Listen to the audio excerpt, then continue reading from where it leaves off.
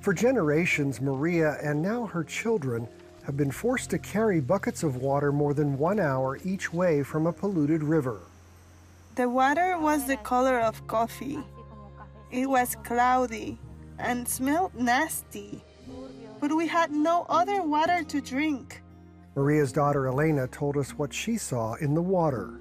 The water got black when the cows champing it. The water smelled like cow dung. Drinking it made me sick. And because it's always been the girls' job to carry water, they often missed school.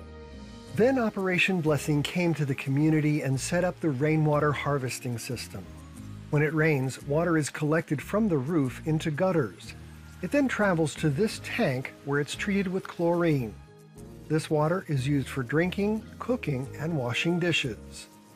The girl said, Mom, look at how much water we have. Before we could only carry a little. Now we have so much water and it's so clean. The rainy season lasts 10 months here, so there is water almost all year long.